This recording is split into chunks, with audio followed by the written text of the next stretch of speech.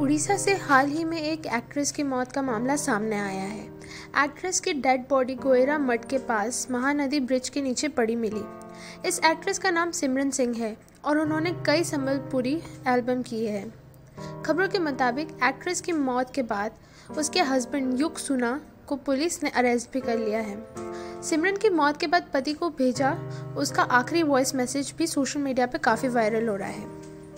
खबरों के मुताबिक, सिमरन ने वॉइस मैसेज में कहा, हर कोई यही कहता है कि मैं ड्रामा कर रही हूँ, लेकिन ऐसा नहीं है। मैं पूरी तरीके से टूट चुकी हूँ और मेरे लिए खुद को संभालना मुश्किल हो गया है।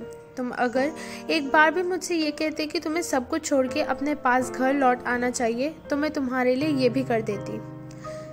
मेरा विश्वास करो युग मैंने तुम्हारा नाम अपनी बॉडी पे लिखवाया है।